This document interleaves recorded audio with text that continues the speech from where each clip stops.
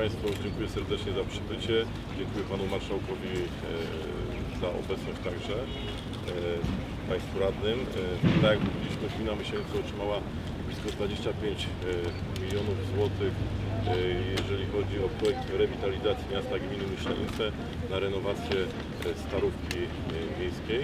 W tym projekcie jest projekt wymiany płyty rynku, jak tutaj stoimy, otoczenia pieszych wokół kościoła, ulicy Blagórki, Piotra Skargi, e, Królowej e, Jadwigi tak samo i e, budowa, Szanowni Państwo, nowoczesnego Muzeum Myśleckiego, czyli Muzeum Niepodległości.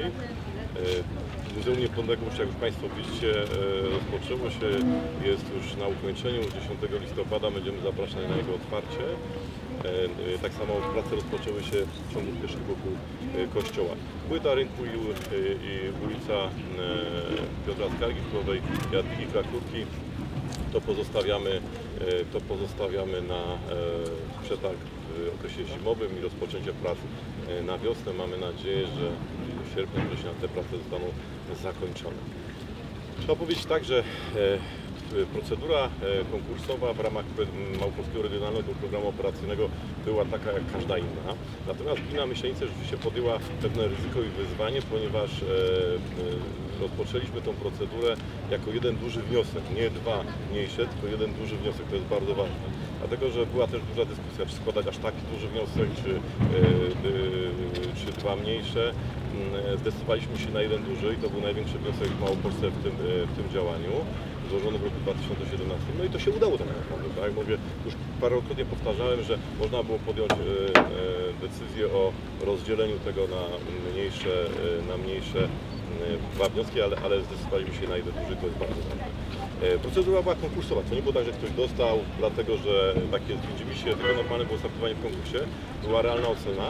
Natomiast bardzo dziękuję tu serdecznie e, panu marszałkowi e, Grzegorzowi, ale proszę o przekazanie na ręce pana marszałka także Jacka i całego zarządu za to, że ta decyzja nastąpiła, no bo to największy wniosek też była trudność, czy należy go wykluczyć, czy odrzucić, no bo innych wniosków też jest dużo, natomiast on został ujęty.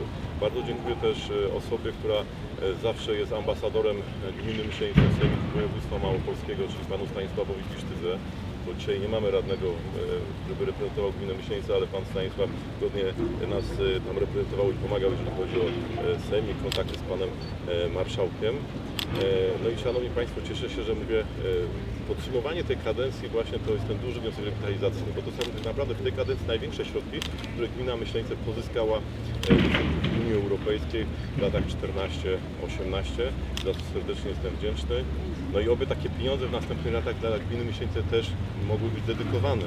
Wiemy o tym, że różne będą losy już teraz środków europejskich e, po Brexicie, ale mam nadzieję, że, że gmina Myślenice także w przyszłości e, skorzysta. Proszę Panie. My naprawdę bardzo dziękujemy. Bardzo dziękuję Panie Burmistrzu. Tutaj e, rzeczywiście ten rynek e, zmieni się w sposób e, diametralny. Mam nadzieję, że te pieniądze, które zostaną uruchomione teraz ze środków programu operacyjnego e, pozwolą w ciągu najbliższego czasu już e, pokazać zupełnie nowe oblicze tego miejsca. Więc to są te pieniądze, które z których rzeczywiście wszyscy myślniczanie będą mogli skorzystać. Bardzo dziękuję Panie Burmistrzu za dobrą współpracę przy realizacji tego projektu Panu Stanisławowi Bisztydze, który wielokrotnie przecież przy tym, przy tym projekcie również e, swoje jakby trzy grosze dorzucał. E, Cieszę się, że przyszli też e, inni myślniczanie, witam pana posła, który też pewnie się cieszy, że e, ten rynek będzie modernizowany, ponieważ e, to będzie dla wszystkich, nie tylko dla wyborców tej czy innej formacji e, politycznej, bo wiemy, że czas jest gorący przed e, niedzielnymi wyborami, ale też będzie cieszyło to wszystkich myślniczan oraz ludzi takich jak ja, którzy bardzo często przyjeżdżają do, e, do tego miejsca. E, Mój ojciec ma tutaj mieszkanie w Myślenicach, więc, e, więc dosyć E, Często mam okazję się tutaj pojawiać. E, Mam nadzieję, że to wszystko będzie z takim dobrym pożytkiem. Dziękuję wszystkim Państwu, którzy e, też e, wspierali i wspierają przecież to, co, o czym mówił Pan Burmistrz, czyli no, zmianę całkowitą oblicza m, tego miejsca i dziękuję jeszcze raz. Także Panie Burmistrzu, Bardzo miło.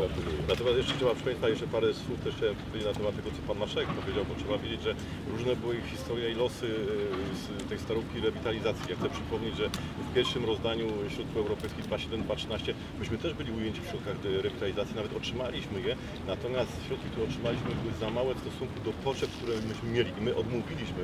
E, To był jedyny wniosek, który został odmówiony ze środków europejskich. Te środki trafiły do miasta Nowy Targ, burmistrz Kuźlewicz na ten czas je realizował i starówka dzisiaj w Nowym Targu wygląda bardzo ładnie, z czego się też cieszymy, bo mówię, te środki pomogły e, miejscowości Nowy Targ, aby można było dobrze rynek zrobić.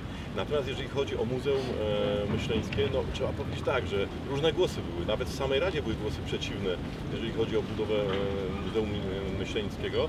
Dlatego też ci radni, którzy zawsze byli za muzeum, zostali zaproszeni za, za podpisanie, bo to też jest ważne, bo, bo tak naprawdę powiem tak, e, budowa muzeum to była takim elementem ważnym, ale wszyscy wiemy i zdajemy sobie sprawę, że gdyby nie e, historyczna data i tak naprawdę ważna okoliczność, jakim jest e, stulecie odzyskania niepodległości, e, no to muzeum by nie powstało. To było ważne, że po prostu akurat w tym miejscu, w tym czasie możemy go realizować, możemy budować. Także ja się cieszę. Natomiast mówię, ta forma rynku, zobaczcie Państwo jak się zmieni, bo mówię, tu są na razie slajdy, tu jest pokazane jak będzie wyglądało za nami na tej ściance. Natomiast no, przede wszystkim nawierzchnia, nawierzchnia, która będzie wymieniona całkowicie, bo Panie Marszałku, to trzeba tak powiedzieć, że ten rynek w sumie 35 lat temu był oddany do użytkowania. W 1986 roku było dany do użytkowania, natomiast jest e, kamień jest nierodzimy, granit upany, który w ogóle nie z tego miejsca jest, jest e, nierówny, przechodzenia osobom niepełnosprawnym, starszym, e, nie mówiąc o paniach e, w szlach na obcasie. To ciężko. Piaskowiec jest, e, idzie pośrodku sie- siełów i on jest e, fatalny rzeczywiście materiałem tutaj położonym. I same funkcje tak naprawdę rynku nie, nie nadają się do dzisiejszej rzeczywistości. Pomnik będzie, przepraszam, stał nieco inniej, inaczej, dlatego że można spokojnie było defilady e, przeprowadzić i, i, i jeżeli są święta, czy 3 maja, czy 11 listopada, że chcą się właśnie odbywać, będzie fontanna z płyty rynku, która będzie dla dzieci dla ogłody, będzie to zupełnie inaczej wyglądało i powiem szczerze, e, bardzo pozytywnie. E, No i tak naprawdę więcej zieleni, Szanowni Państwo, na rynku. Zie- Zieleni bezpiecznej, która nie będzie inge- ingerowała e, w, przewody, w sieci i, i, i także mówię, no, ten rynek będzie o wiele większy, przyjemny.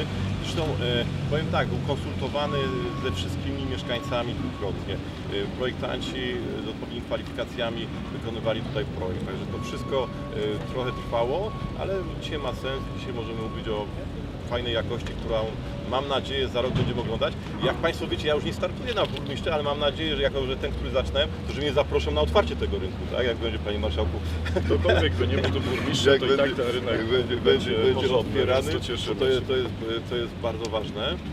Chcę powiedzieć jeszcze, Szanowni Państwo, tutaj może też na koniec Panie Marszałku o dobrej współpracy e, pomiędzy e, województwem małopolskim a gminą Myśleńce, ponieważ e, e, wnet są te wybory samorządowe, jak wspomniał Pan Marszałek, czyli za dwa dni E, i tak naprawdę e, współpraca z samorządów jest bardzo ważna. Ja już to mówiłem parę dni temu, że współpraca samorządów i samorządy wypełniają luki, e, gdzie państwo nie może realizować albo nie daje rady realizować niektórych rzeczy. To my właśnie jak samorząd województwa małopolskiego, czy samorząd gminy, czy samorząd powiatowy są w stanie realizować e, wiele z tych zadań. Jeszcze raz serdeczne podziękowania Panie Marszałku dla wszystkich. Państwa, którzy pomagali tak naprawdę e, w tym okresie i w tym czasie i, i mam nadzieję, że wszystko będzie zgodnie z terminami i że znajdą się firmy wykonawcze. To tak, dzisiaj no jest to trudne, często akurat właśnie wykon, prace idą, ale mówię, w innych przypadkach mamy, że e, no nie do końca jest właśnie w tym okresie.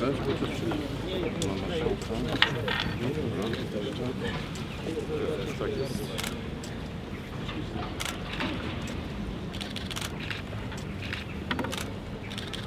Panie pośle, proszę też mnie ująć, żeby nie wypadł panu z kadra. To dziękuję bardzo Panie Burmistrzu za